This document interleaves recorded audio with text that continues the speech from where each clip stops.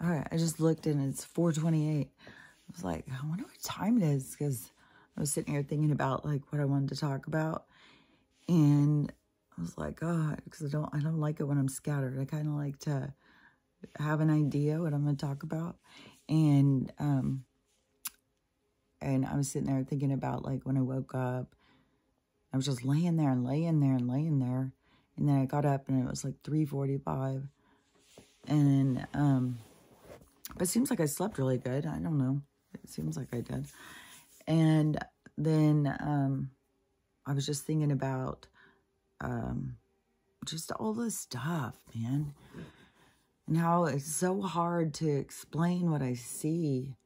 It's so, uh, the, wish I, I could figure out how to explain it. Because it's just like people just don't see. But everybody's going to see when they're supposed to see. I got to just let go of that. Like, I've got the magic words. I can somehow get people to see what they can't see. It's, you know, it's an independent journey and so many people just block themselves. But somebody was just um, sharing, because I've talked about so much about the self-help books, how important I believe they are on your journey. Like, like, you know, like my daughter who just went through this other loss. And so I was telling her she should read the near-death experience books because it will make her feel better, especially in regards to, you know, his what happened when he passed, how it's like haunting. And, but, you know, as somebody who understands like about soul stuff, you know, knowing that the soul's not in there, the soul doesn't go through that experience. The soul stands there and watches it. You go read a bunch of those books, you'll see they stand and watch it. They don't go through it. That is part of the storyline for us, the ending of the storyline, you know, and some of them are dramatic and they're supposed to hit us in a certain way. So, um, you know, and I told her to read the NDE books and she found this book called Afterlife. I think I could have had another word or whatever, but she was reading the, um, the sample and she was really liking it. And so I think she's going to read some more and see that could totally get her interested in, you know, follow reading more spiritual books. Because I said, you know, you read this stuff, it's going to help you feel better. You're going to feel better. You're going to feel like you understand things more. And um, in in the healing journey, because I was reading the self-help books, book, I, and I, I, people thought I was so weird because I was young. I was really young. And I was reading self-help books all the time. And then even, um, you know, when I would get, you know, around people who read a lot, you know, they would look down on me like, that's not really reading books. reading books, you know, works of fiction by the greats or, you know, that's the real reading. This sounds garbage reading. I don't know what you're doing. You wake. But I was always treated like that, like, like, uh, uh, like the downstairs help by people. And it, you know, it just became so much a part of my thing. It wasn't like I was like, my thing is so weird. It's just so weird. Because that, like, how much attention I would get on the physical side, but then there's the part of me that was the internal side. It was like, you know, wanted nothing to do with that side of me, the real side of me. So it was just, it was a weird experience to go through, you know, and always being called weird. It's like, okay, so I'm weird, but you still want to have sex with this little vessel right here, huh? like, okay. uh, but, you know, I had to I had to learn about me. I had to realize, you know, nobody else is going to protect you. You're the one who needs to protect you. But I read um, so many self-help books all the time. I've used self-help books all throughout my um, life. But I definitely started, I was like, I don't know, I'm 19, 20 years old. when everybody else is just out doing lines of cocaine. And, you know, I'm like, well, I want to feel better. So um, I want to understand things on a deeper level. I want to try and understand the dynamics of what's going on here. I want to try and figure out the patterns so I can break them. You know, I just was coming at life so different. It's just so weird to realize, you know, how weird you really were. no wonder everybody's calling me such a weirdo. Um, but this, um, somebody in the thing was saying um, emotional freedom is when that they are just, they finished reading it, but it, it, through their healing journey, it helped them so much to be able to put pieces together and stuff. And so, uh, you know, there's so many books out there for whatever you're going through you know, and don't feel like you're a weirdo because you want to feel better in the world or you want to feel better in life or you want to try and understand what's going on and what what's your purpose and stuff. Don't feel like you're some sort of a weirdo because people think that that's strange behavior. like just um you know, I, like I'm telling you reading for me uh being in these certain patterns throughout my uh relationships the gaslighting book helped me so much. And it was, um, you know, just the recognition of seeing my own pattern. Because the people need the other person to play the game. You can't, they, they can't play the game without the other player. So once you see the part you're playing, you know, your role, you can change it. Once you have awareness of it, you don't, you're not stuck in your patterns. You're not stuck in your behaviors. You can see it and you can break the patterns. You can break the behaviors. And don't forget, you got to be, you know, not too hard on yourself. Always, is that's another thing people like to do is just like, oh, you stupid idiot. You should have done it perfect the first time. God, you're an idiot. God, you're so disgusting. No one, nobody likes you. It's like, people are so mean to themselves. And now, like the way people just go out and say it like teenagers, just kill yourself. You're so disgusting. Nobody wants to be around you. I'm going to go kill myself while we're at it. It's just like, oh my God, what is wrong with you guys? Stop talking like that. And uh, it's like, yeah, our language has very much devolved. like, we don't need a lot of words. Just make sure there's kill, hate. Uh, you know, it's like, fuck. Um, but, you know, we've got to want more and do better. And we've got to be role models. I just saw this video. It's such a beautiful story. Um, because this mom, which I really liked, that she told the story. She didn't put her child on there and make her child uncomfortably talk to whoever's listening, you know. But the mom told the story. And she was saying that her daughter didn't get invited to a birthday party, but the person having is an eight-year-old and the person having it made sure, you know, she knew she's on the maybe list. You know, well, maybe we got to see how it goes. Uh, right now, we got a pretty good party going. So we'll let you know. Somebody else isn't going to come, well, you know, we'll go through the maybes and we'll decide. And so the little girl was like crushed, you know, she didn't get invited to the birthday party. And then to know like, well, maybe I got to go. So she went home and, you know, told her mom and uh, her mom said, so what do you want to do? And she said, well, I guess I'm just going to wait and see and get to go to the birthday party. And um, so the mom said, well, you know, this has happened to me twice recently where somebody made sure that I knew that I was left out of something that other people were invited to. And, um, you know, it bothered me. But, you know, I you have to be who you're going to be all the time.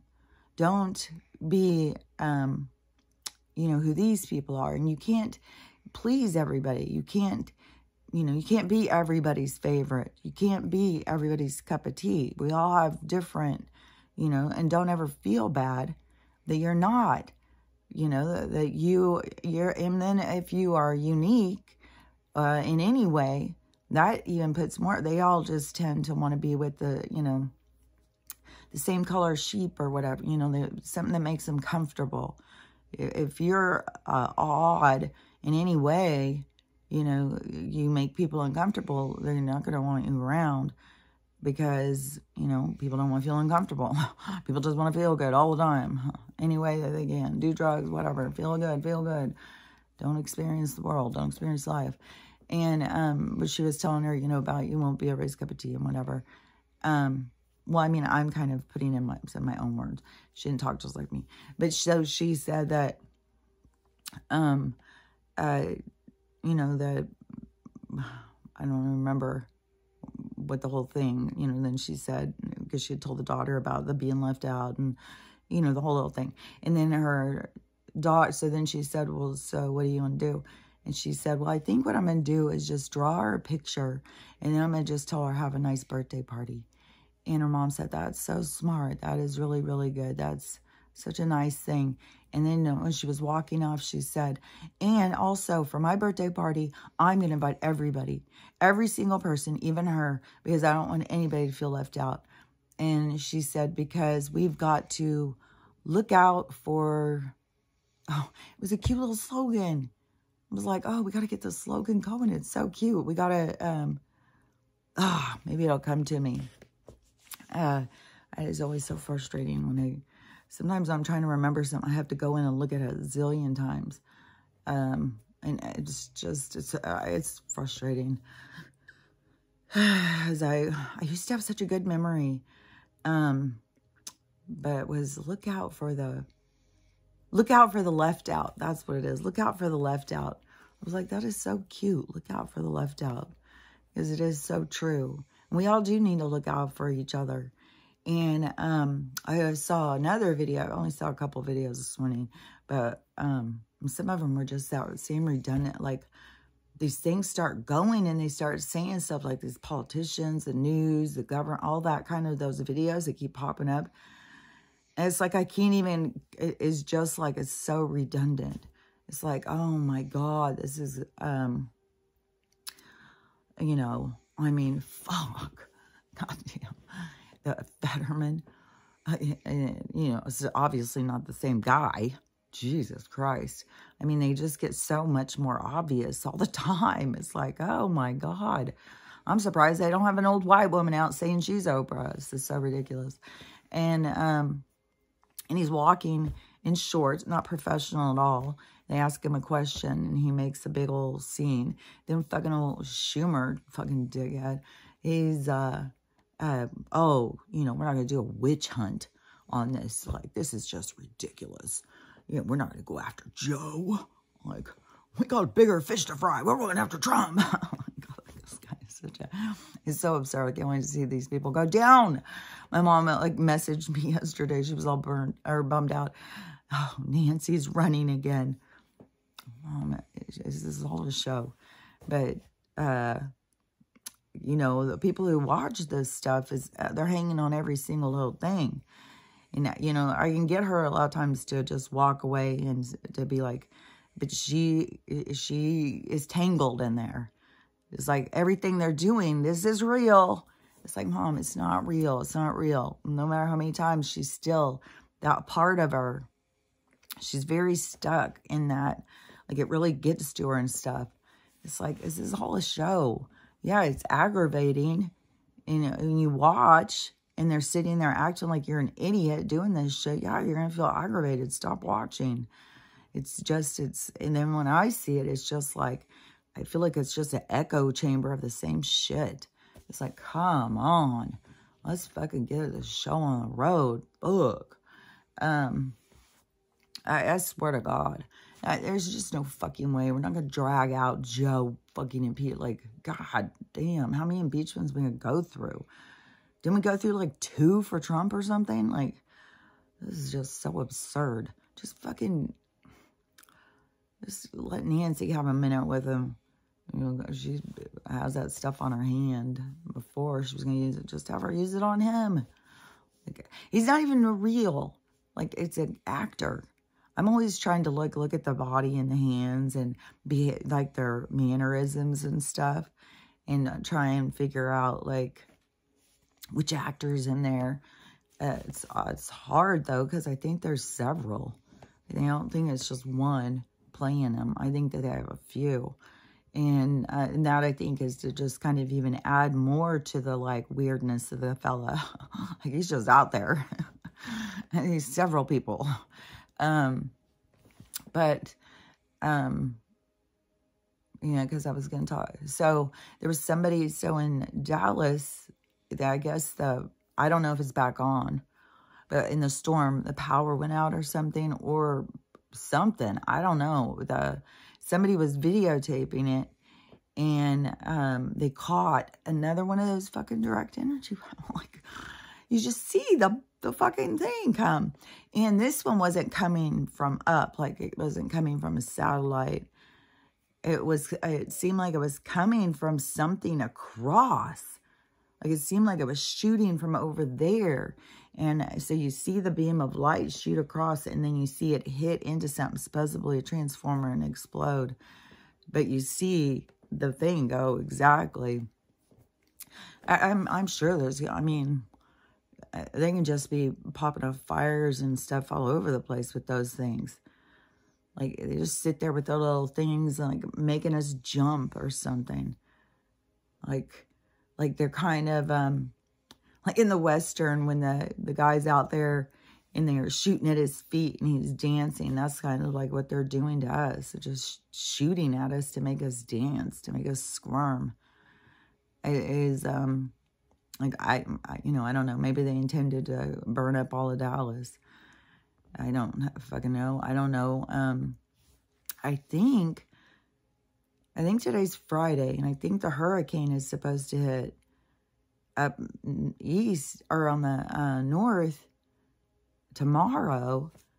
But there should be already being hit all on the other parts to see, like, if those places were devastated. I don't fucking know. I don't, I haven't seen any of those videos.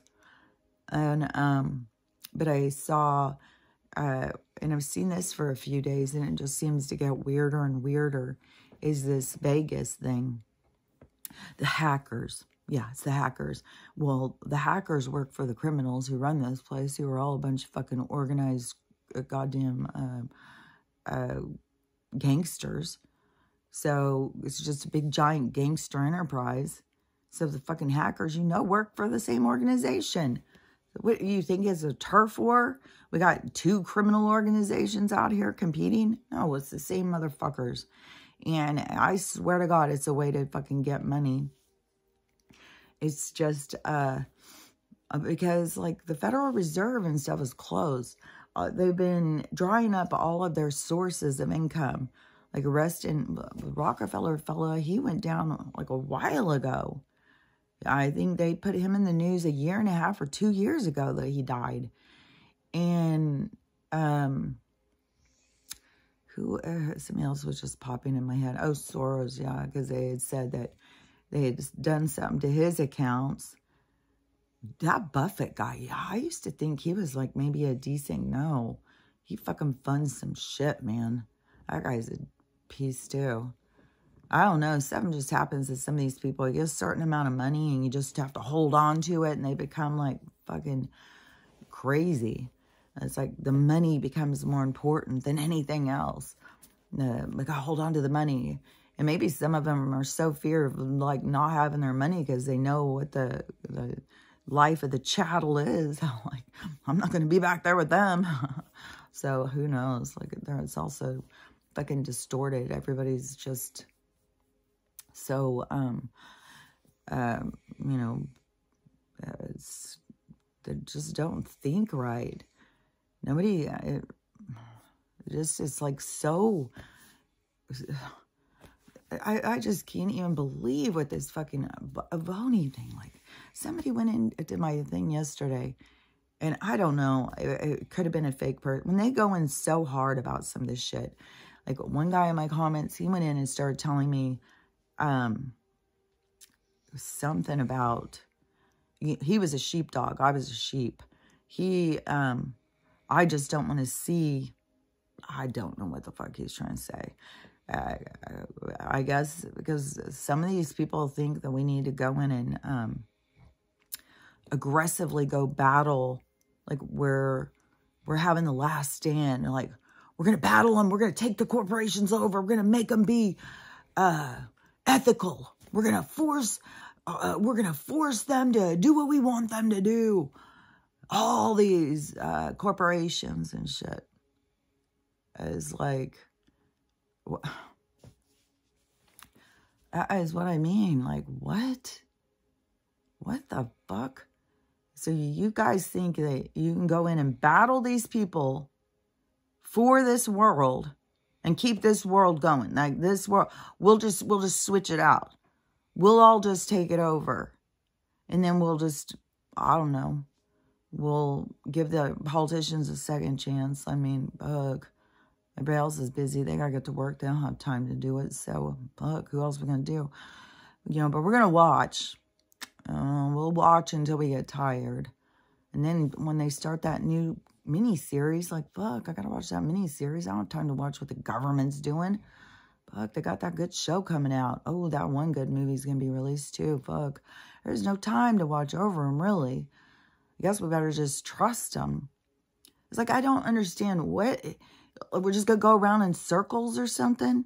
Y'all think we're to battle these people, take over their world for them, and then we're going to let them know. Like, I mean, this person's like, well, you know, what we got to do is, uh, what is that they were going to do the other week?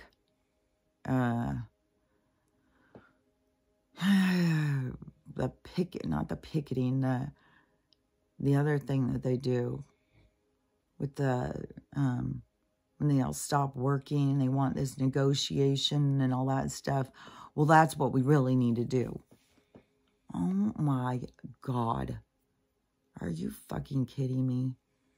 So all these corporations, all these different CEOs and stuff like that, all these different human resources. But if we all just don't go to work and we all just make sure that they know we just won't go to work unless you tell us what we want. Well, okay, so we have everybody going to write out their demands. Like, I, I, I mean, this is just, it's wacky.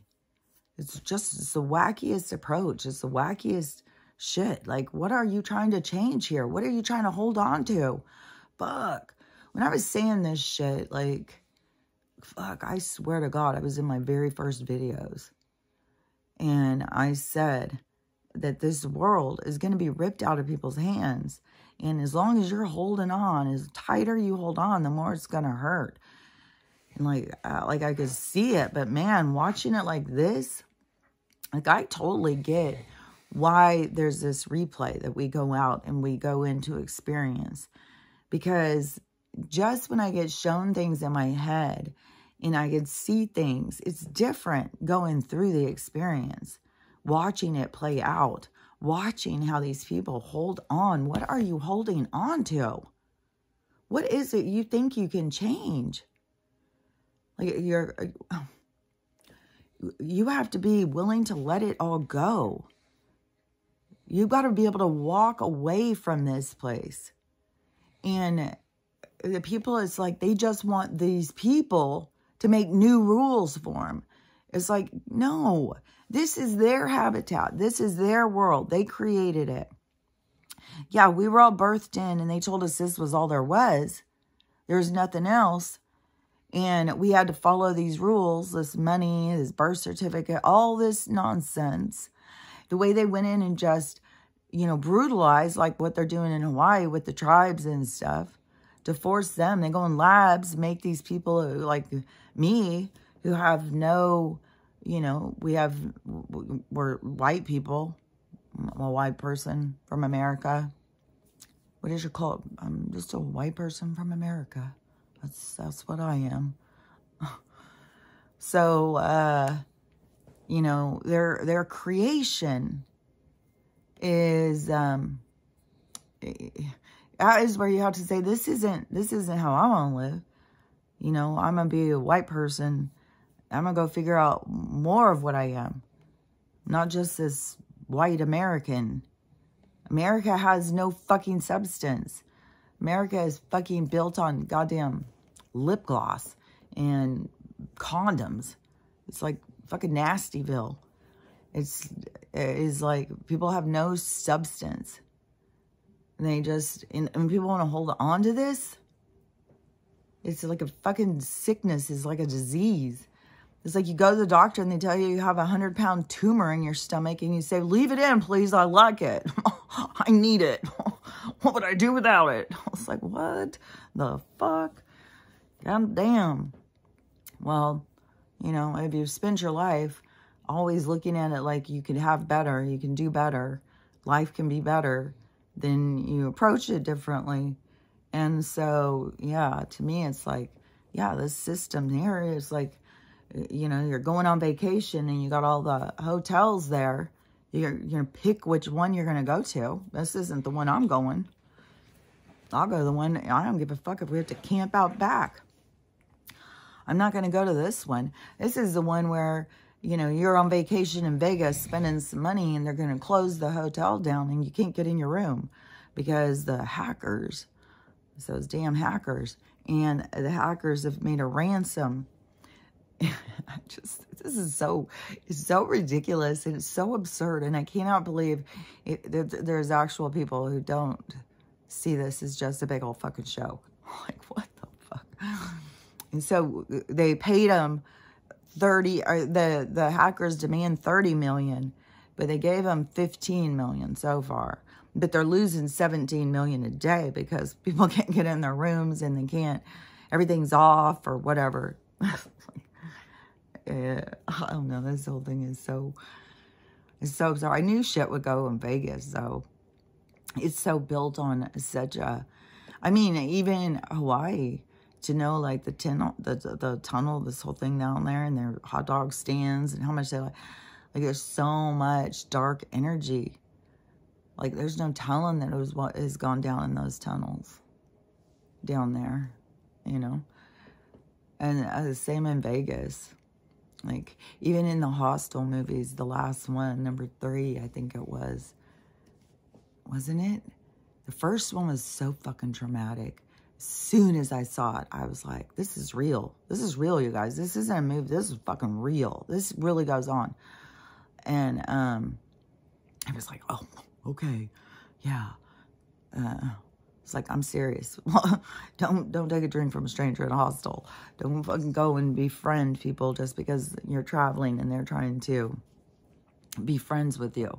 Be a little weary. And um, uh, the second one, I can't remember. I don't think it was the second one. I think it was the third one, but it was Vegas. I'm sure. Hey, we got, that's a big old fishing pond, I'm sure. Oh, yeah, and then they have the Hoover Dam dry up, and they got all these fucking bodies out there in that thing. I'm sure that was like, but, um, you know, people go there, they're drunk, people go missing, People go there just to, because they got nowhere else to go. They go to these places like New York, Vegas, where it's just awake all night. But, you know, awake all night, that doesn't mean that the people who are usually in the dark, you know, they, they're there in the light. There's so many of them, too. It's just like, just the roaches. Like, you turn the lights on and then just the roaches are just like, fuck it. Just keep on going. And won't even hide. That's what, you know, some of these places are like with some of these people. Yeah, you know, like they're not going just out to like, well, I mean, fucking Chicago, Detroit is bad. Like, there's a lot of inner city places. Yeah, you can go Look, it is dangerous. Just that I have, I not, I've seen more than one of these gangster, you know, thug kind of people that are like, I don't know, I think probably in the inner city, especially if you're a certain color, you probably have to kind of put on the armor. You know, you got to kind of, if you're not very thug, then you probably just get consumed.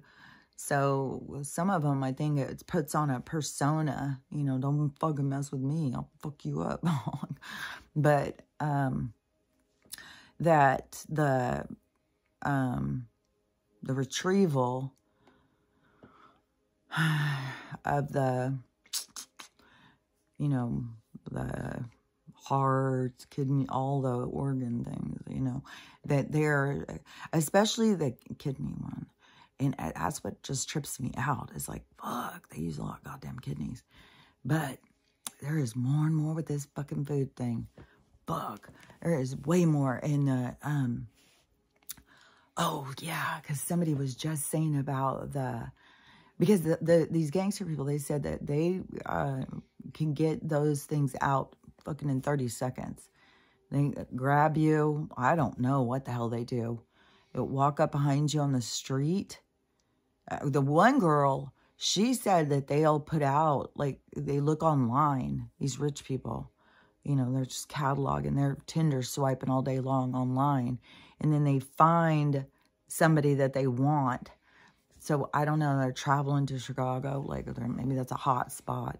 And then they look online and they like, oh yeah, well, this person, go find me this one. I'll give you a huge amount of money. And so they go out and hunt them down. And then they, I don't know if they walk up and inject them real quick or what they do.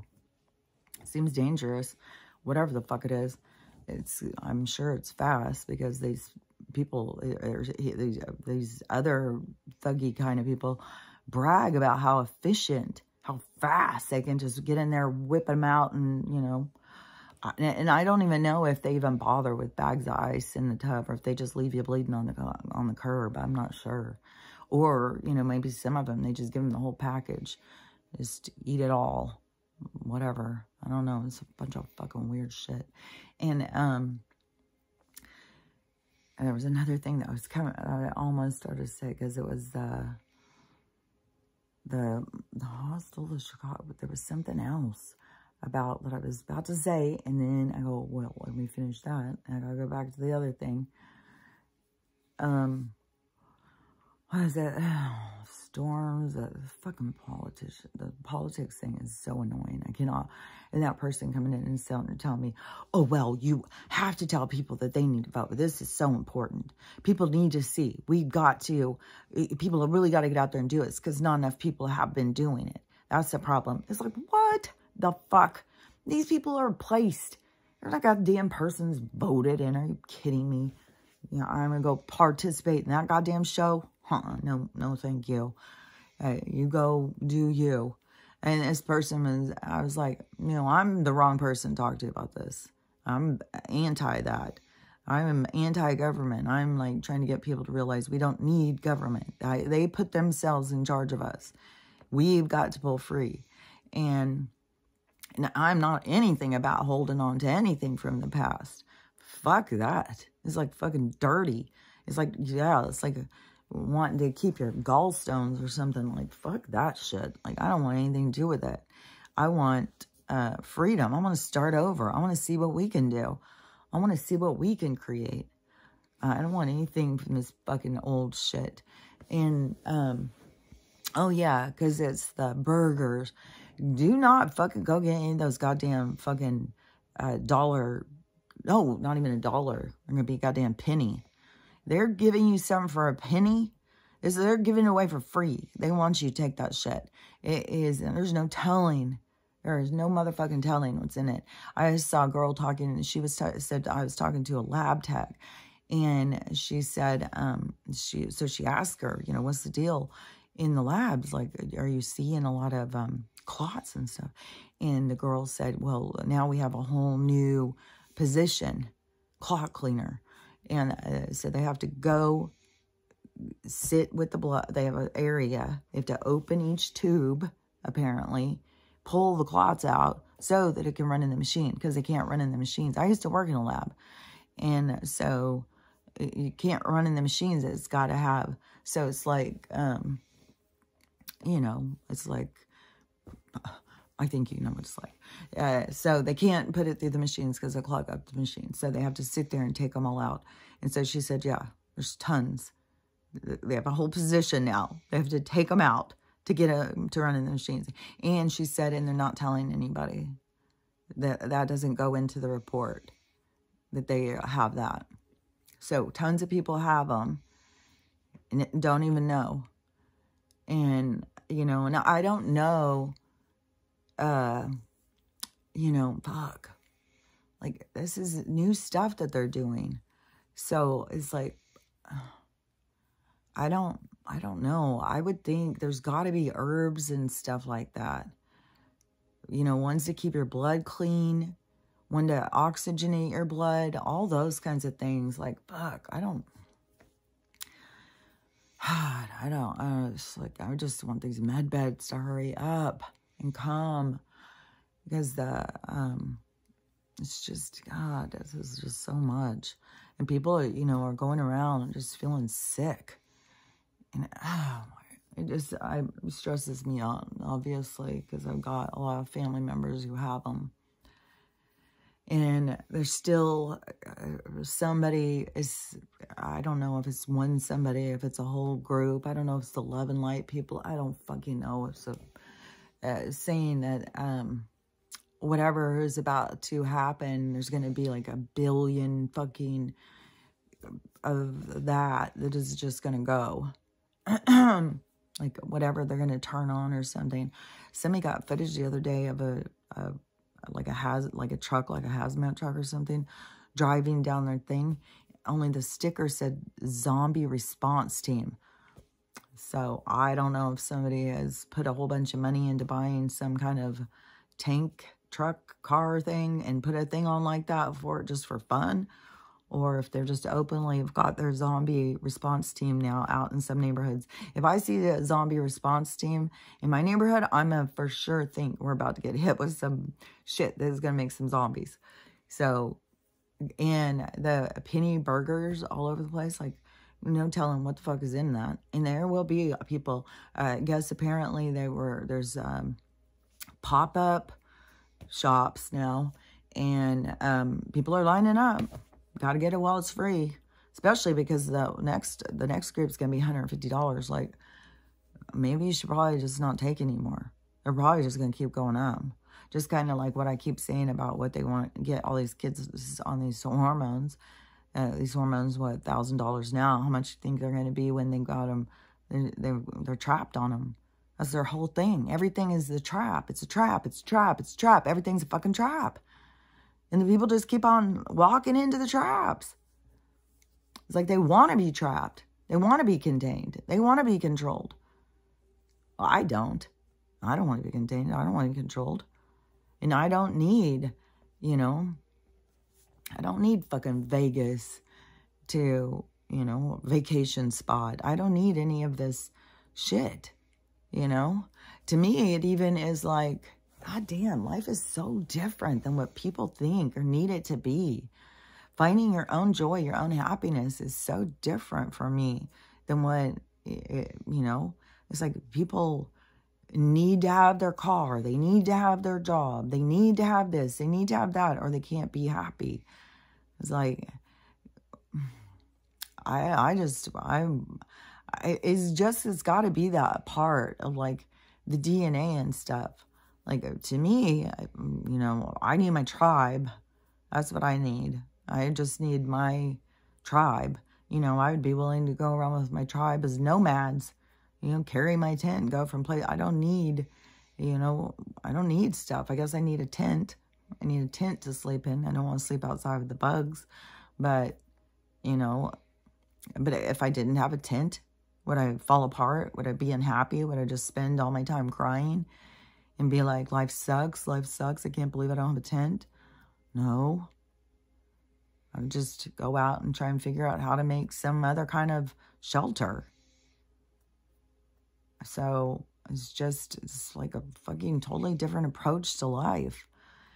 So, yeah, to me, it's like and even if I weren't to find my tribe, even if I were just to go out there, it would be more living to me to go out and just walk around the world, just take off walking and go and just go and experience life more than what their stuff that they offer. Like, what do they offer that is the big pull to people? Like, I don't get, is it so much that you just feel so trapped, like there's no other choice? Do you really feel like, you, you know, without having a big fancy house and two cars and a job and all this retirement and all the stuff that they've tried to trap you in with, without that stuff, you think like life is, you know, it's pointless? I mean, you got people out here, you know, using the old filter who think like, well, fuck, I might be too ugly. I just, you know, life's not going to be worth it if I'm not attractive enough. Like, so what, what are you telling everybody who's ever become disabled? Well, fuck, you should just gave up. Man, got that brain injury. Should just fuck, fuck it. gave up, gone sent in a nursing home and just let yourself deteriorate and die.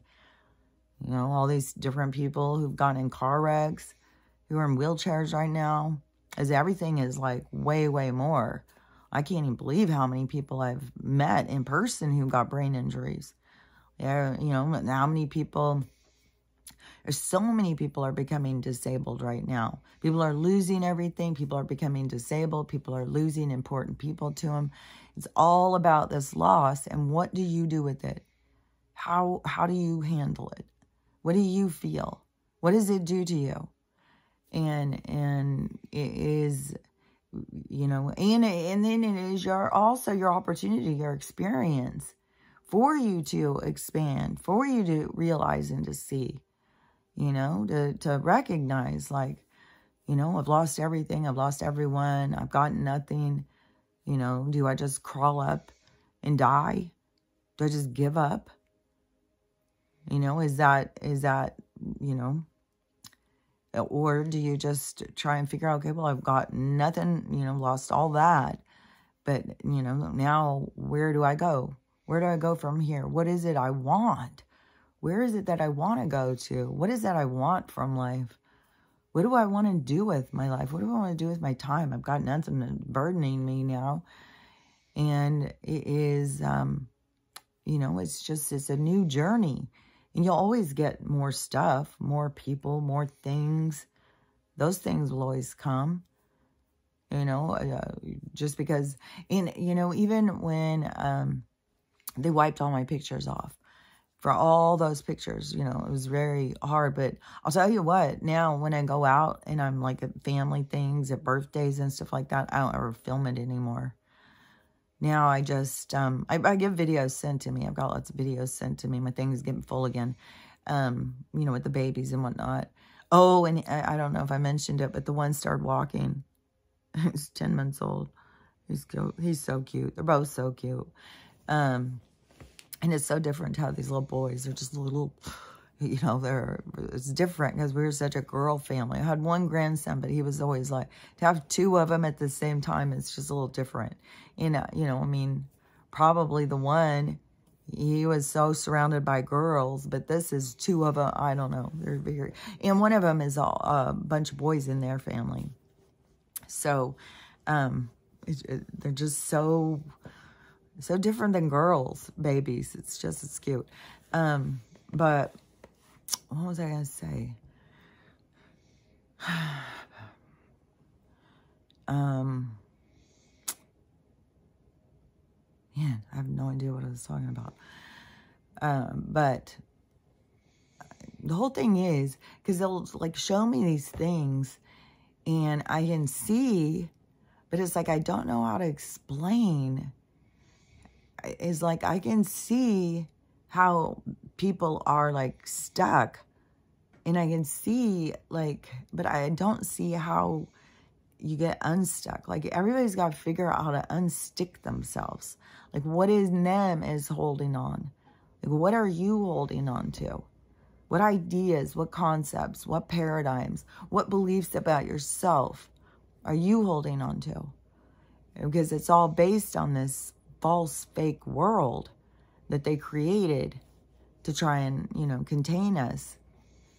And um, I have a bunch of pictures like going fast with the um, the 1800s. It seems like it was something like in the later 1800s. Who knows what happened before that, you know? so weird. Like, were there giants just that short time ago? Like, did the, um, did they release a sickness? And you remember when I talked about, like a long while ago, I talked about that they were targeting certain things, like it with this, they could they were targeting certain groups of people. They figured out like a certain protein or something that certain groups of people, like um, like tons of Asian men, were targeted. Like there was definite target. And um, I just heard somebody or some doctor or something. I don't know what the, and they were talking about these things. Only I think it was talking about the one, the ones they give us from the beginning. That those ones were targeting certain people too. Those ones were targeting the darker skinned people. That to um, for a lot of different things. So they've always been out to get those people, the the people, the tribe people. You know, to me, it's like the natural people. They've always been out to get them, and so they put stuff in there to make them have like, I don't know, uh, something to, for sterilizing them. But that is how good they are with this targeting things. Like, like I know I'm not crazy about this. Like, uh, this orphan train thing, these Cabbage Patch babies, the reason why we're just white Americans. I mean, even the fucking um, darker skinned people, they give them the, well, you're African American. They give them that culture, even though it's the wrong one. They still try and give them something to hang on to. But then it gives them the whole storyline of, yeah, you were sold by your own people. You're just garbage people. You were stolen and you were, you know, you come from this horrible ancestry and stuff. And then, um, and then people start looking up and seeing like, no, our families were well off. We were from the Caribbean.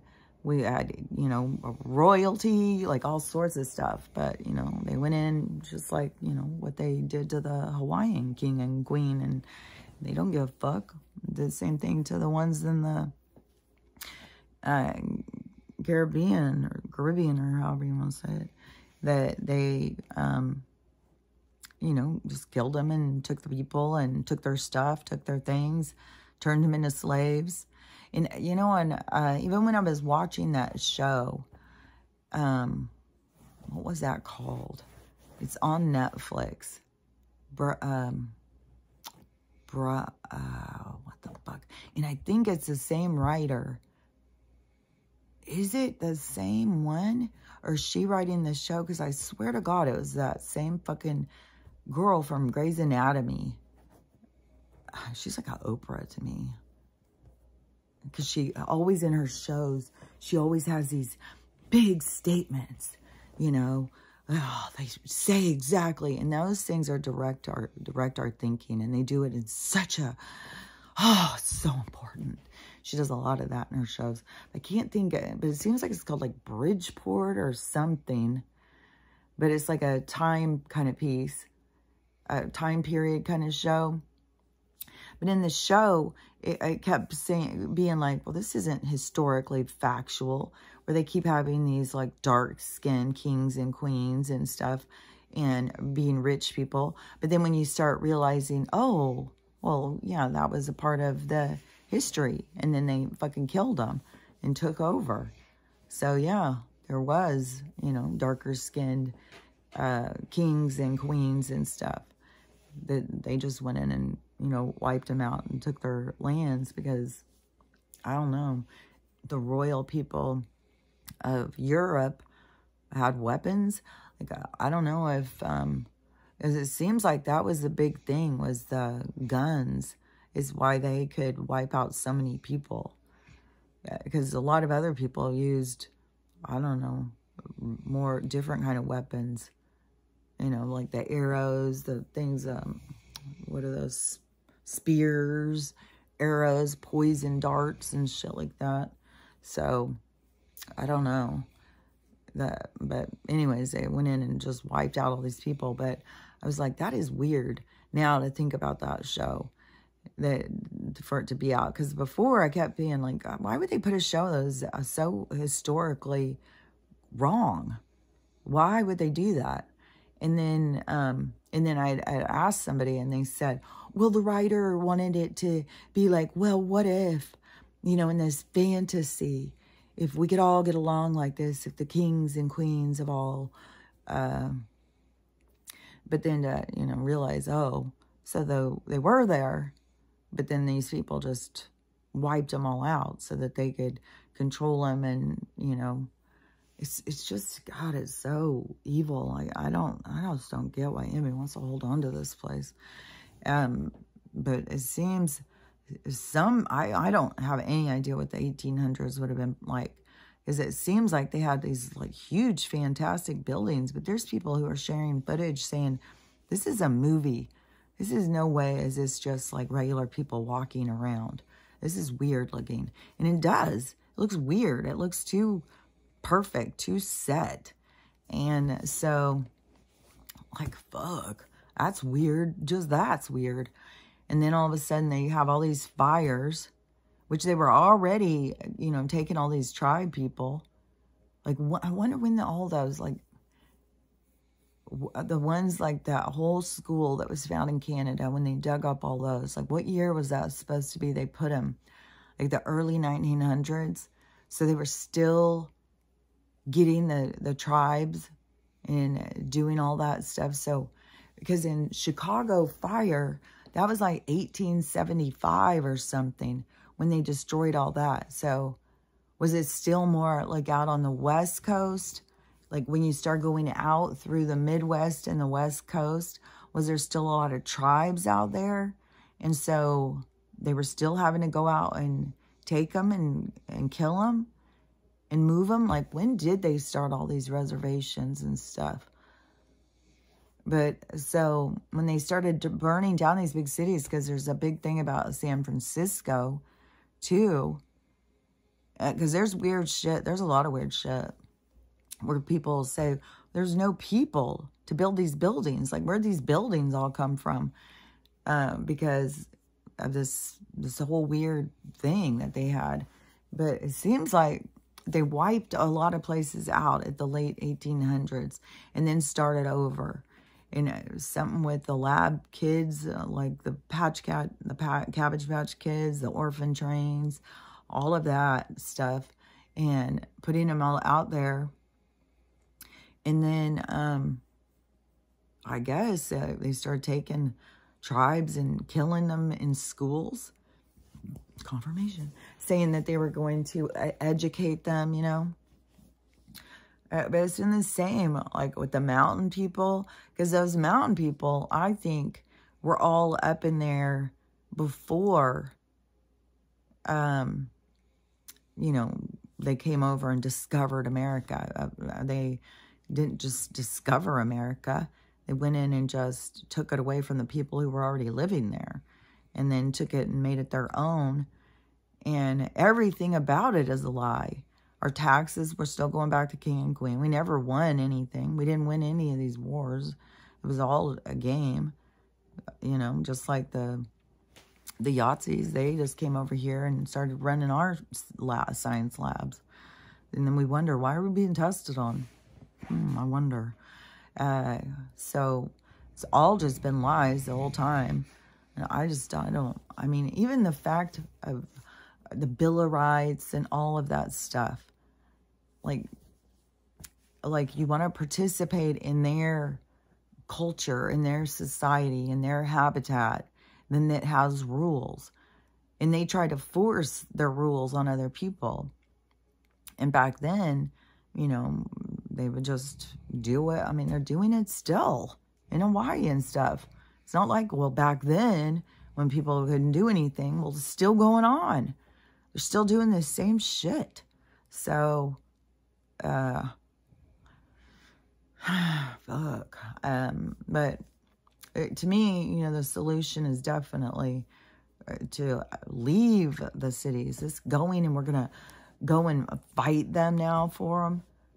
It's like, what are we fighting for? These people who just want to go out and we're going to fight. Yeah, if they come into my yard and start trying, I'll fight them.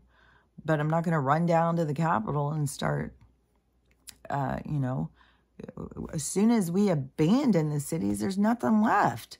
When we leave and we go build our own, we don't need to have these cities. Who who wants to live in apartments? Who wants to live stacked up on each other? I don't know any people who live in an apartment. I mean, I'm sure there's some apartment dwellers who are like, well, I don't want a yard. God, that would be work. Good, go live in a fucking commune place and Go live someplace with a bunch of people. So you have more people to help you do your work. But there's a lot of people who, like, for one thing, you don't have to mow your goddamn yard. Like, Where where that ever came up, that's elitist bullshit right there. Oh, go out and put some grass and then mow your yard. And the whole thing that that was to show like, well, I don't need to grow my food. I'm better than that. So get back and grow your fucking food. Grow your food. You don't need to buy it from them. And, you know, we need to be spread out more. We need our own space. We need our own land. Not uh, fucking jam-packed up on everybody fighting for these goddamn uh, this was weird too because um, my ex went got all these eggs and he said they were all farm fresh. They were right off the farm and he was having problems peeling them. So he asked me to go in and peel them. And so I went in and I was um, doing it and um, and then, you know, they were all cooked and I was, so I was making deviled eggs and potato salad.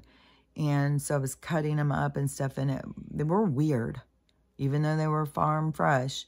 And there was still something weird with the yolk and stuff. There was weird shit, no doubt about it. And um, where some of the yolks where I was like, this is like plastic. This is weird. And um, then I just saw somebody who was cooking. They got Walmart eggs and they were cooking them. There's nothing real about those. I've got some eggs uh, that I just bought too.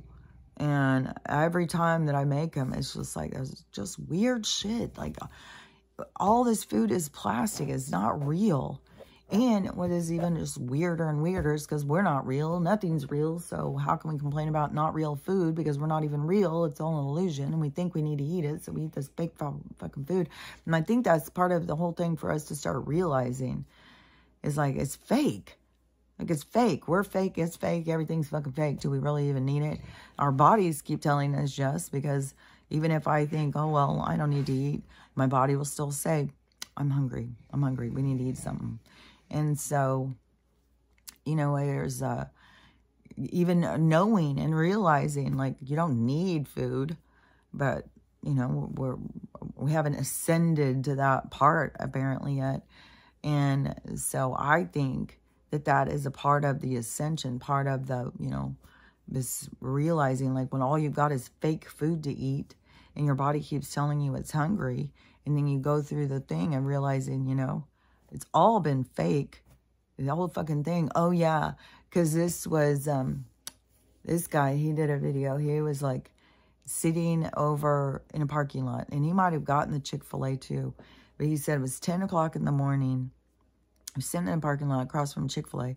And he said it was three lines deep. Three lines going at 10 in the morning to get a chicken sandwich. And so, and he said it was long. He said it the whole entire time he was there for an hour. It was just long ass three deep line.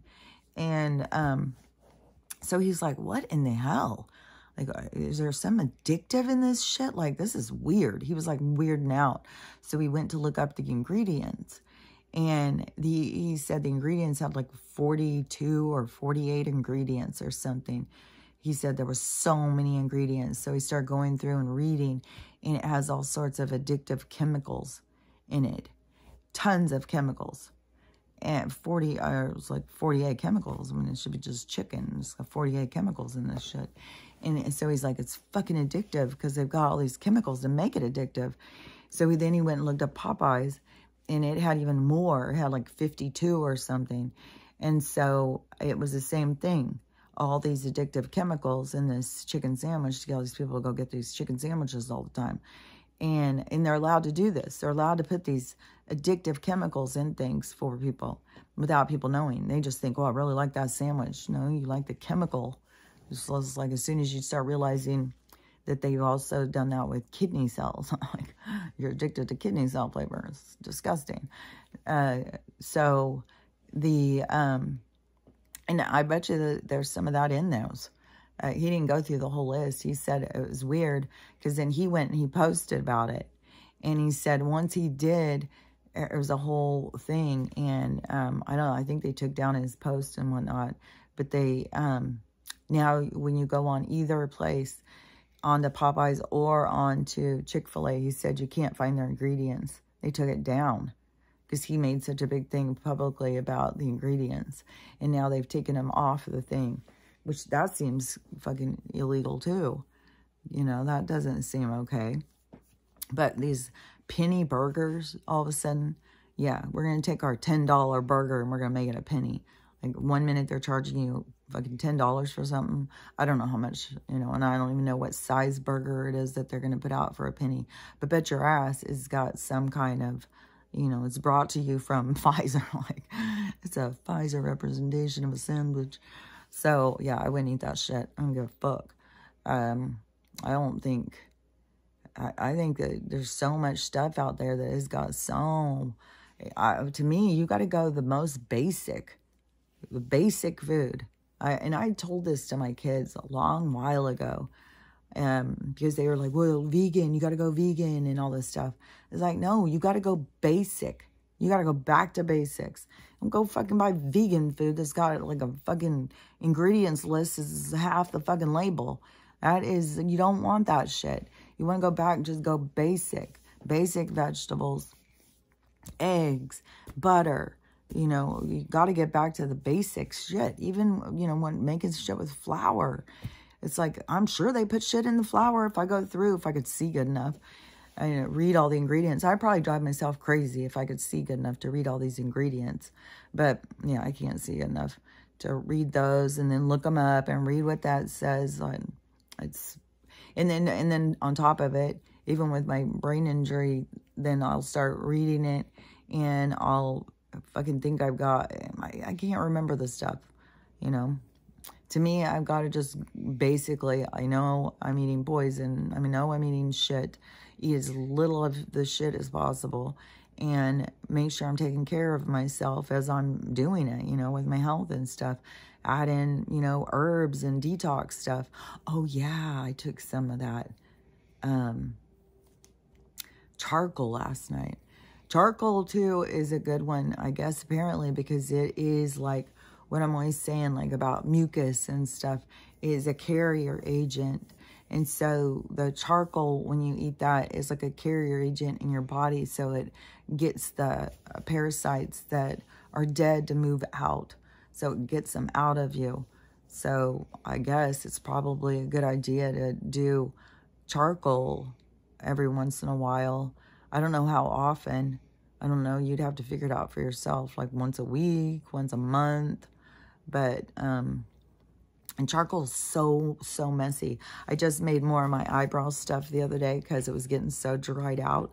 And so I've already got it made. It's just a little thing, but I have to put it into the mascara thing.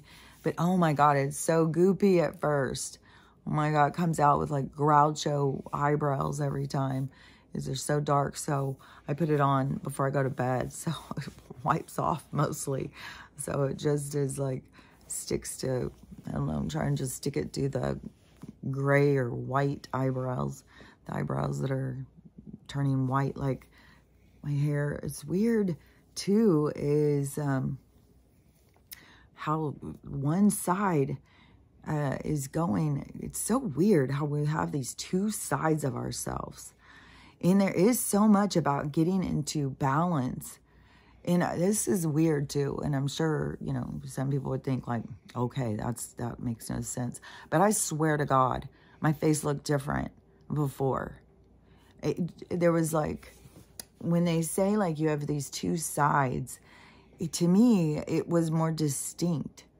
There was like two totally different, and maybe it looks totally different on each side of my face still to some people, but to me, it doesn't.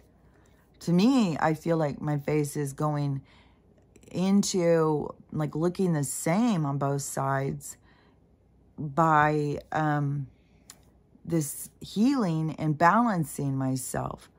That's why I say like your the way you look represents you, not your. It, it, it represents you in a different way than what you think. And so it's showing you like that you're off center, you're out of balance and stuff. It's always showing you and telling you and and what you need to work on and stuff. So anyways, through my healing, I have definitely noticed that my face is becoming more um the same on both sides. So I don't know. I don't I mean to me, I, when I used to be um, before, I could always see it was so different. Like I could, you know, each eyebrow is different, each thing. But when I look at it, I don't just see the two differences.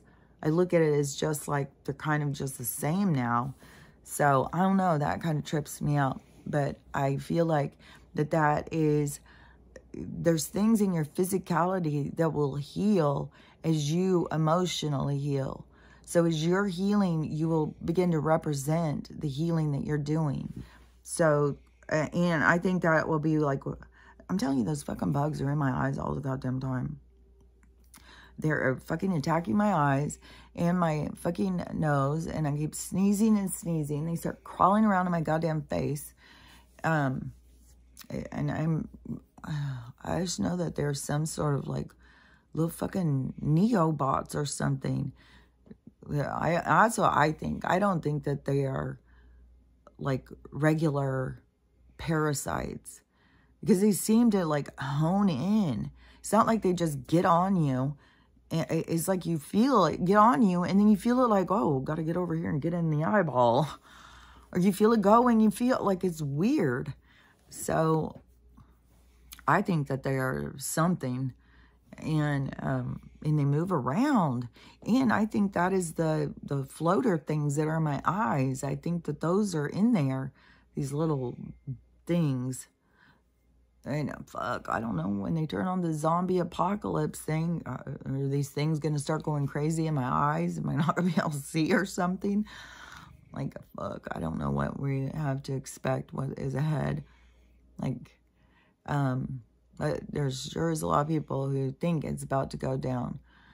Um, with the 19th, the 18th, and all this stuff from the 22nd to the 23rd. I just hope so. I just hope some stuff just starts going.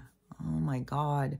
It will make people feel so much better too. The people who are, you know, holding on, who just want to just give up, who are just so burnt out having something go that will just give people more of like, okay, okay, the money crash, we can keep going. We got, we got this. We can keep going. The government's next. The government's going to go down. All these fucking people who go on here and treat us like we're stupid idiots, they're going to go down. The tables are going to turn. They look like stupid idiots and, you know, they, it's this smug condescending, like, uh, these triggers, you know, like look at how they treat us. But it's all, the tables are going to turn, you know, they're all going to go down. So we just have to, but I, I just feel like that people will feel a lot more motivated, like if something, but the people who don't know any, you know, uh, these people who want to hold on to this world, want to hold on to this money, want to hold on to all this shit, they're going to be, um, you know, devastated they're going to be angry and mad and there's going to be, a, it's going to be emotional. But for the people who are just like, oh my God, how long is this going to go on? Like me, I know there's other people like me. I know there's a lot of people who are just like, well, you know, I want to believe, I want to believe this money thing. I want to believe this government thing. You know, they want it. So if something, just any little, little thing will start going because like I can see where it's all headed. I can see like, oh yeah, this is playing out for sure. This is keep going, but it just the way it's so slow. And uh, to me, it maybe just feels so slow just because, you know, I live here in this cabin in the woods with my dog and I stay to myself. So maybe that is why it just seems like redundantly every day just like drags like, oh my God, another day. I think today I'm going to just try and get into my uh, crocheting and finish this one hat. My granddaughter really liked it when she saw it, so I really want to finish it before I go back to babysit, which is a couple weeks. I could finish it probably in an hour it would be done. But and my one daughter was reminding me I was going to paint her some pictures for her new place. And I was like, oh, yeah, I do that.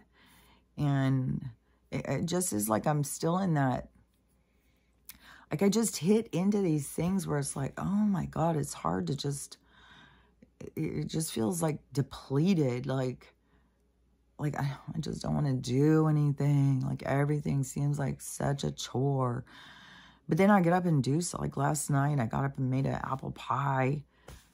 So I'm doing stuff all the time. I'm constantly doing shit, but it is like, ah, just, uh, I don't know. I'll be so glad when shit starts going.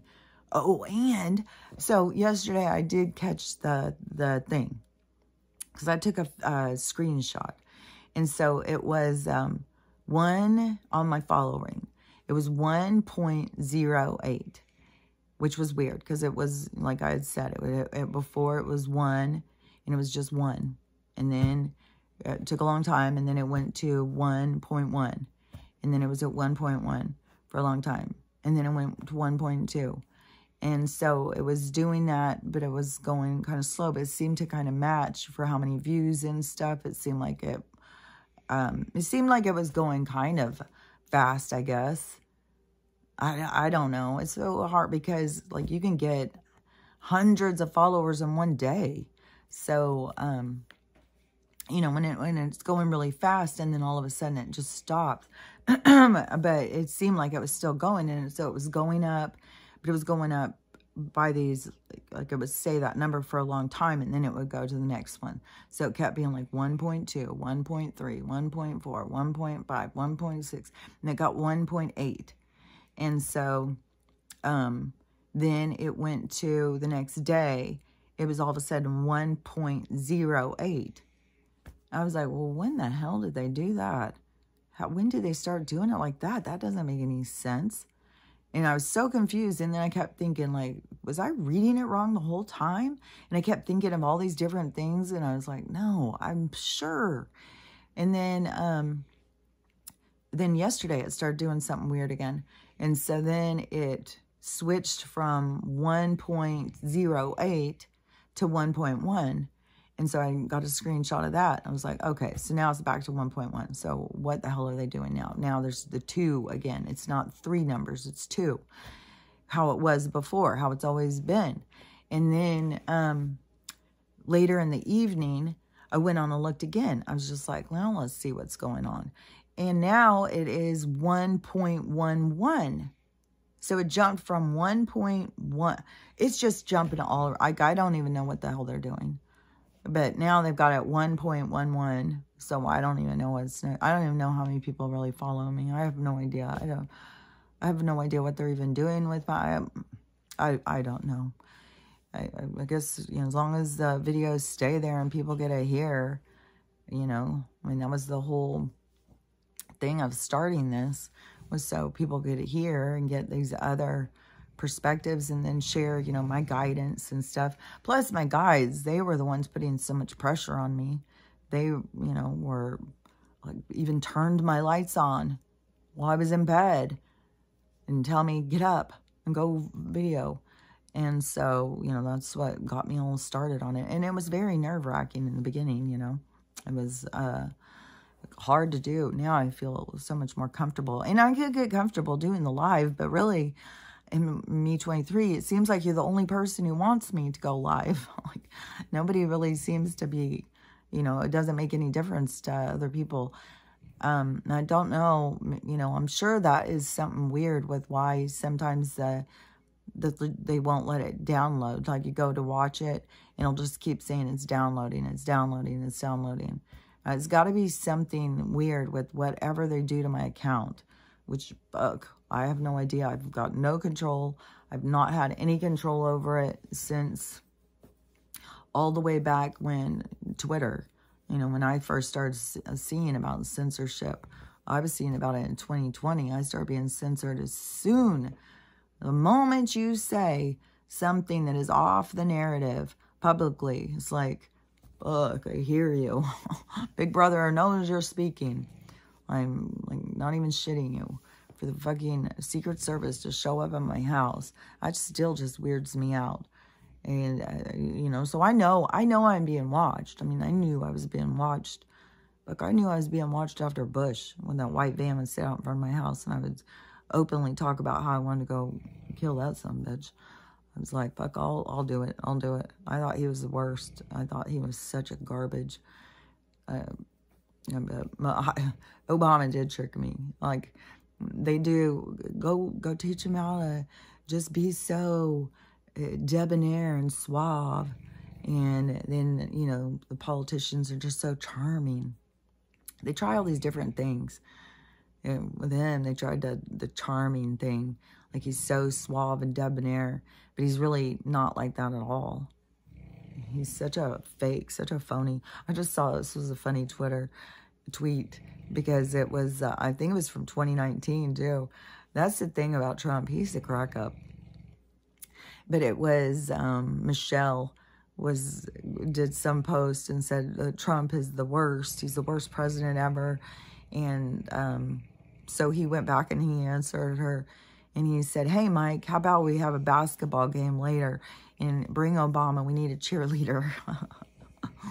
he was always that is the thing, is like these people, that's what I tried to tell my kids too. When I started saying that they were lying about him, you know, when I started recognizing that the news was lying about him, and I started telling people, and they all thought I was crazy. I suddenly became a racist. I was crazy, all this stuff. And, uh, but I have told him so many times, he's so funny. Like, if you guys would see uh, oh, oh my God, you are so crazy. There's nothing funny about that weirdo, crazy person, you know, stuff that people think about him is like, no, he's super funny. Um, you know, because that's the kind of shit like that we would want to say, you know, and he he does it. And so, anyways, I think I think a lot of a lot of people are going to feel bad about the, their attitude towards other people, even their attitude towards some family members and stuff. Like when the tables turn and everything turns around and they realize like, fuck, God, all the rude shit I said to them, all the arrogant, all the, man, because some people have said some rude ass shit. And, you know, it's going to be them, the people who said it, they're the ones who are going to have the hardest time getting over it. Like the people who it was said to uh, are going to be vindication. Like, fuck. You know, but you're going to see that people are, you're going to see a lot of people struggle with what they put out in the world. When they put out how their attitude, how they reacted, how they acted, they're going to have a hard time with that. That's why I'm constantly saying be mindful of your attitude, of how you act, what you're putting out in the world. Be very mindful because that's the stuff that's the hardest stuff to get over. And mark my words, watch and see, watch and see with your family members and stuff. The the feeling tricked, feeling like somebody lied to them and they didn't see it, they were tricked, and just their own shitty attitude is going to be the hardest things for people to get over. And it's going to bring up so much more stuff. It's going to bring up so much more trauma and stuff. That's where they've got to get down to is, um, you know, figuring out where their biases come from, why they were being tricked, why how they were being misled. You got to go in to yourself deeper and see. You got to be honest with yourself so you can see how you were tricked, so you can heal those parts of yourself. That's why it's there. That's why the things happen. That's why your soul put yourself through it so you could heal it. So but your soul is watching. Your soul is watching, so it's going to watch how it reacts. It watches how it feels. It watches what it does with those feelings. So it's not like, you know, you can do anything wrong. All it is is your soul is watching itself. It's experiencing itself. It's understanding itself. It's witnessing itself. So there's nothing that you can do wrong, even if you you know, died and uh, it would still be, you have your life review. You still have this, you know, you go in and there's a whole thing. I, your life is so much different, like, than what people think. It's just way different. And uh, to me, just, you know, go into the self-help book section. Start trying to figure out, you know, start with your diagnoses. You know, like uh, for me with the gaslighting book, like I knew I was being gaslit, but, you know, I had to understand what the whole thing was. And then when you go in and you read, then you can see your part. If you're reading a self-help book and it's not giving you where you can figure out your part, read another one. like uh, all these different authors will explain things differently. So just read a different one and see. And a lot of times I love the books that have case studies. Case studies are really good because then you can like recognize certain things, recognize patterns and stuff. So I like the case study ones, but just go in and read different things. Like if you, whatever your diagnoses and, um, it, it, but with the diagnoses, you know, you'll have some parts that you're like and some parts you aren't. Really trying to hone in, focus on your behaviors, the behaviors that you do that are toxic to you. Because those are the ones you want to change. Don't lump, that, that's the thing is they want to just constantly lump us into these, you know, diagnoses, you know, it covers all these people. So, um, go in and try and find your certain behaviors and then try and figure out like, the, it, there's a role you're playing. And so when you can figure out your role, and it can be different with different people because you can play the good guy and the bad guy.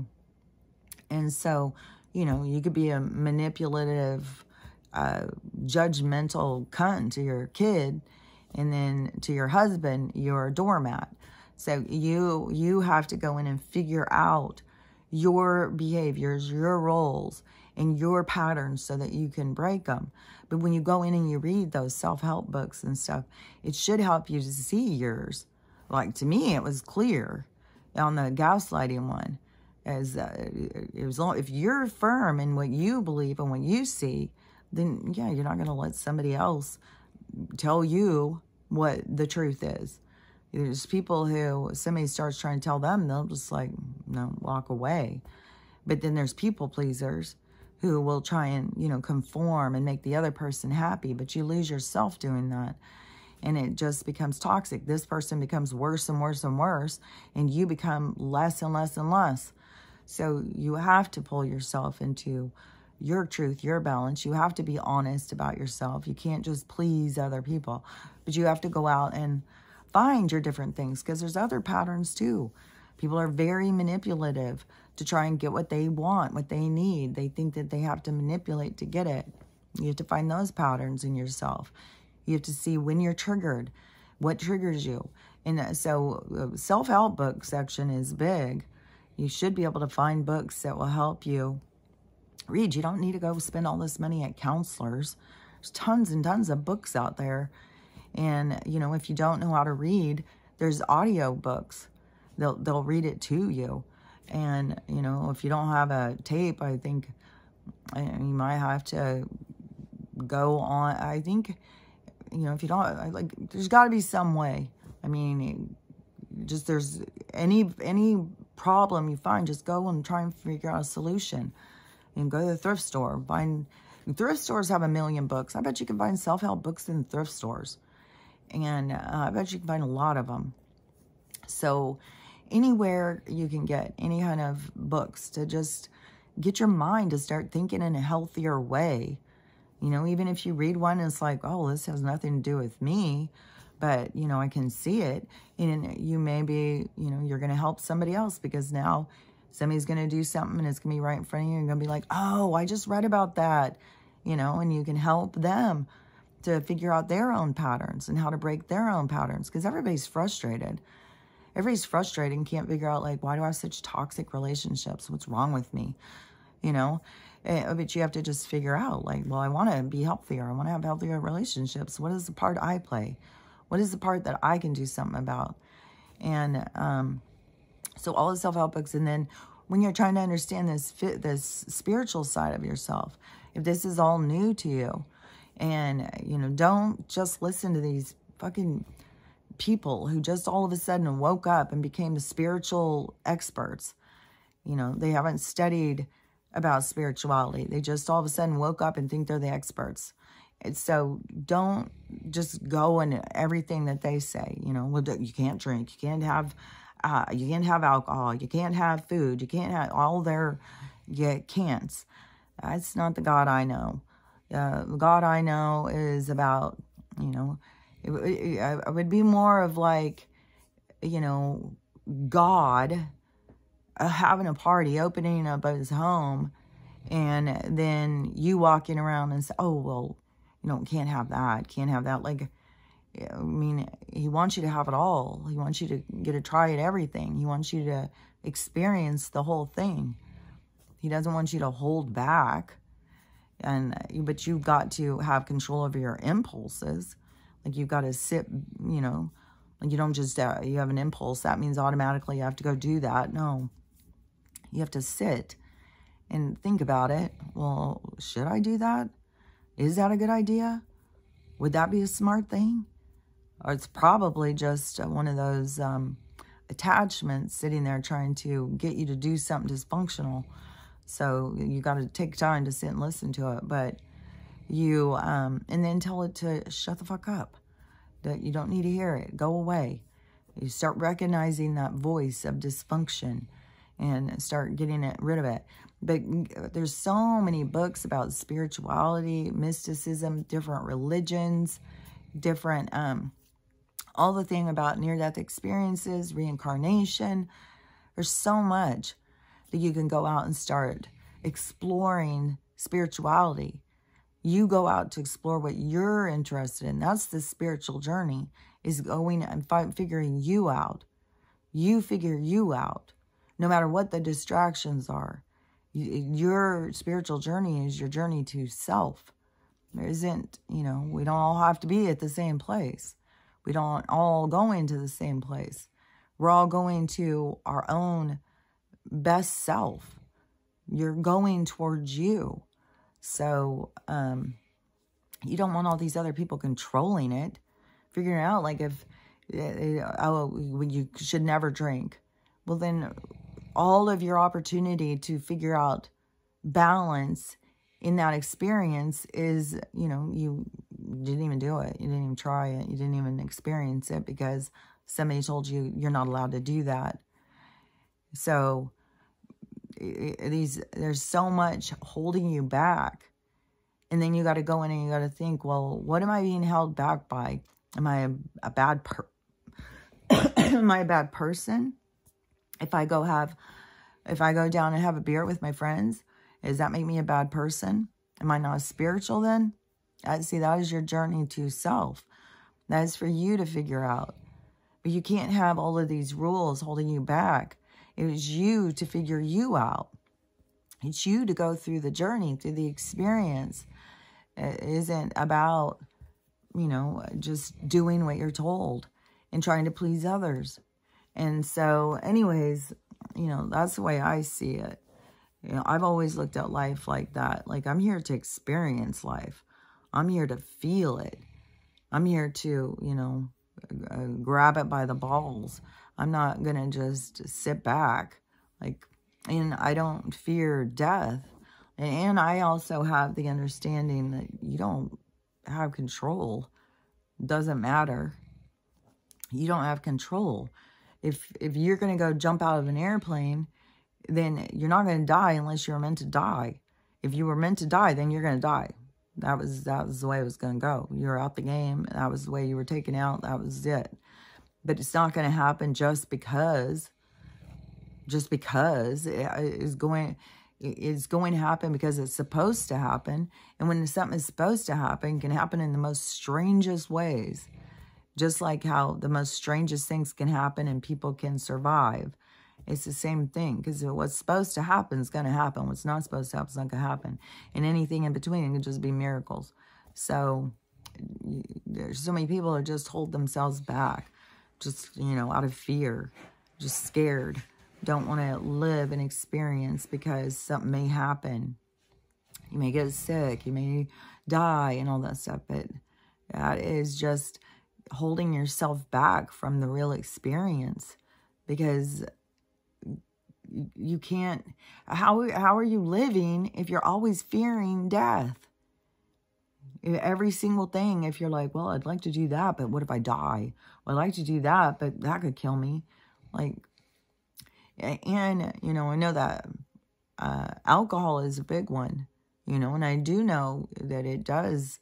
It's like you you drink a bunch and then you kind of your soul gets uh it's kind of like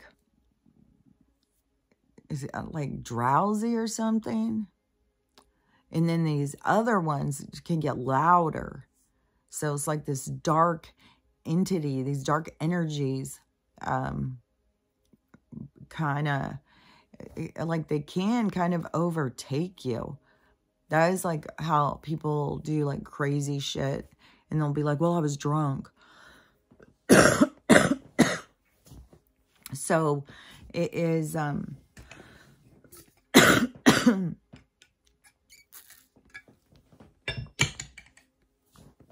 so it is like, um, but it's like that they aren't listening to themselves. It's like they quiet themselves and then they hear the darker energy or something. Um, but, you know, I mean, there's a lot of problems if you drink too much. You have a lot of problems with relationships. You have a lot of problems with your physical body. Like there's a lot of things that people have to learn for themselves. You know, you, everybody has to learn their own balance, their own everything. And if you're somebody who doesn't ever drink, I'm not saying, well, you better get out there and drink because you haven't done it right unless you've tried it for yourself. I'm not saying that. I'm saying that these people who come in and tell you the rules and then you don't go do something because somebody tells you not to do it. Don't, you don't, you're not supposed to just follow everybody's rules. You're supposed to follow your own. So if, yeah, if you feel like, well, I'm not going to drink. I have no desire to drink. I don't want to ever drink. I've never felt like I needed to drink. Well, you probably learned that in another life and you don't need to learn anything about drinking. It's all part of your DNA. It's part of you. So it's not something that you need to think about. And, um, but it's just that these people that just keep coming in with these rules on spiritual, you know, you, you can't you can't eat meat. Like to tell people that they can't. So every single person who eats meat, who wants to be spiritual, well, you don't count. no, you, you can eat meat and be spiritual. You can drink alcohol and be spiritual. You are the one who decides. You, it's your spirit. It's how connected your spirit is to the spiritual world, to where your spirit connects. That is your connection. It, it has nothing to do with anybody else. And so nobody else should be making your rules. Nobody else should be telling you how to live. Your guidance inside of you will tell you how to live, not the people outside of you. The people outside of you can give you feedback, but you don't need to hang your hat on their feedback. It's just feedback. It's, you know, it's like, you know, for my daughter to call, oh, tell me I'm not a good listener. You know, as feedback. I don't have to change if I don't want to change. If, uh, you know, hearing it enough, then it makes me think more of like, okay, I, when someone's talking, I really focus on what they're saying. I'm not going to talk. I'm going to stay quiet. And I'm not always good at it. I interrupt all the time. I've always got something to say. But I, you know, I'm being more mindful. But I'm not doing it to try and, you know, uh, make somebody like me or something. I'm doing it because, like, I decided for myself, well, you know, I do want to listen better. If I'm not a good listener, I don't want to be somebody who's just always needs to be talking, even though I do prefer talking. um, but, you know, um, we all have our preferences. Some people prefer listening. You know, I prefer talking, but I will listen. It's just challenging. But uh, sometimes also you have to tell me like, okay, stop talking and just listen for a minute because you just keep talking. And then, uh, you know, I'll, I'll stop. I will do, I will stop. I won't get mad and I will, because I do know I do talk a lot. Like, obviously, I can talk and talk and talk. And so, anyways, but I'm going to stop talking now. And I'm going to just see how this day goes. Who knows? Maybe I'll come back and talk later this afternoon. Maybe I'll just go live and just talk for a minute. I don't know. We'll see. Uh, to me, it feels weird. Like even going and seeing what's going on and stuff, it just seems, everything seems weird. And then this big storm coming, I just fucking hope, like, whatever they're going to fucking do, I hope this is finally the thing where it is, um, the money crashes. I just feel like, oh, the money would just crash. Well, that would take the stress off of me over the house thing. then I wouldn't have to worry about that in court and stuff. Or, you know, uh, what are they going to do next? Is someone going to pull up and ask if they can come in and look around? like these people. Oh, so stupid. Uh, this whole system. They think they can just come in and take shit away from us. I'll tell you, I will fight, you know, if this is going to drag out. Because as far as I'm concerned, I have got homesteading rights. There's a whole thing about that uh, they can't not give you the money and then tell you to pay them. It's all their wording. It's all of it. It's just such a scam.